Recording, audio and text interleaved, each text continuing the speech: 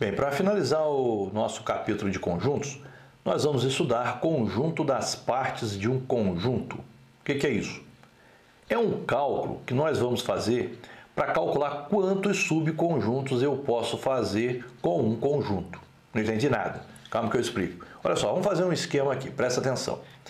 Eu tenho uma caixa e nessa caixa eu tenho duas placas a placa A e a placa B.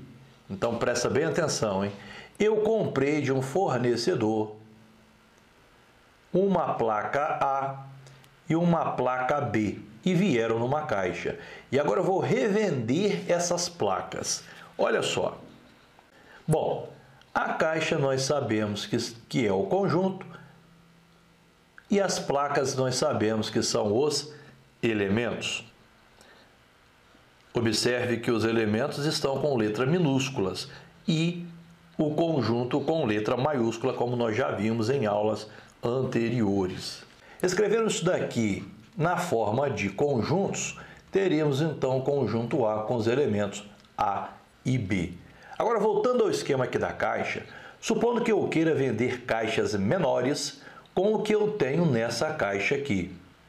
Como que eu posso fazer isso? Vamos lá. Eu posso vender uma caixinha com um elemento A.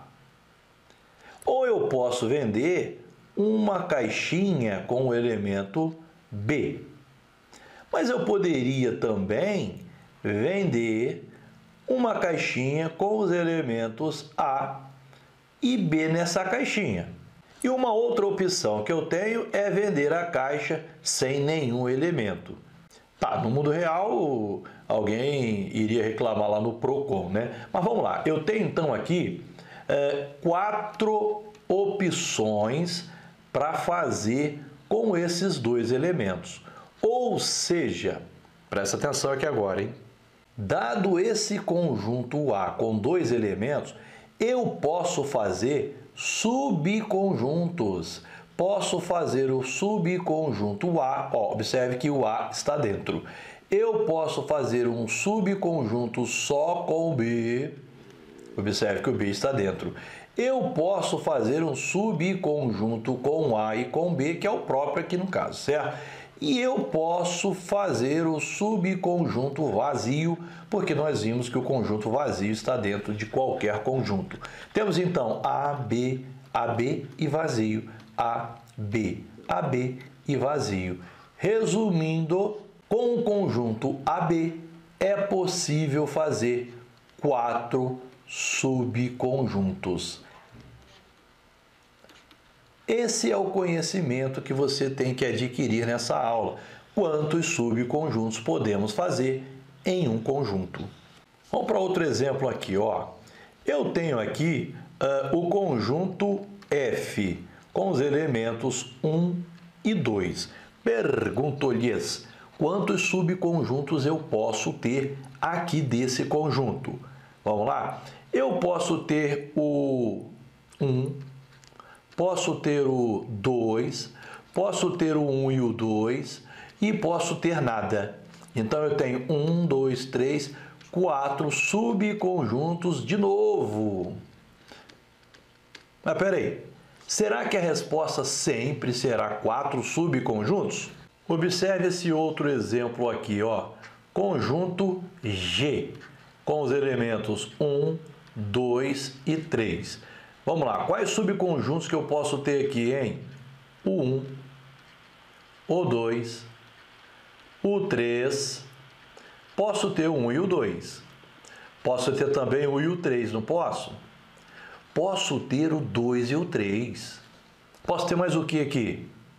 Posso ter inclusive 1, 2, 3. E aí? Lembrando que eu não posso 3 e 2 porque a ordem não altera o conjunto. Posso ter mais alguma coisa? 1, 2, 3, 4, 5, 6, 7. Posso ter mais algum aí? Tá faltando um. Um subconjunto que está dentro de todos os outros. Qual é ele mesmo? O vazio. Então, quantos subconjuntos que eu tenho aqui?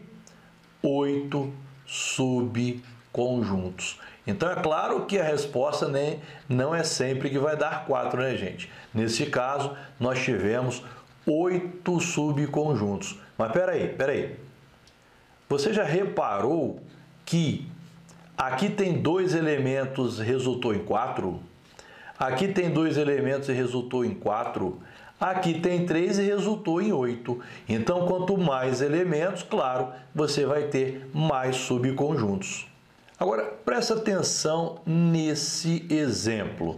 Eu tenho o conjunto H com 1, 2, 3, 4, 5 e 6. E aí, vai encarar?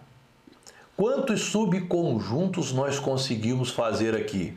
Pois é, Nesse caso, não compensa você ficar fazendo de um a um, vai gastar muito tempo. Claro que se você esqueceu o que eu vou te falar aqui agora, você então faz de um a um e seja feliz. Porém, a matemática existe para facilitar a nossa vida e ela nos dá um esquema para calcular a quantidade de subconjuntos sem ter que contar de um a um. Como? Presta bem atenção, ó.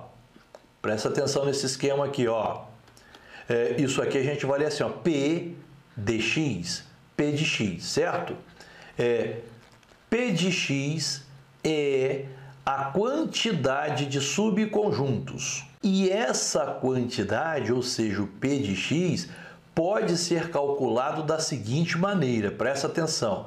Você vai colocar o número 2, sempre o número 2, e você vai elevar a um determinado valor. Que valor é esse daqui, hein? É a quantidade de elementos.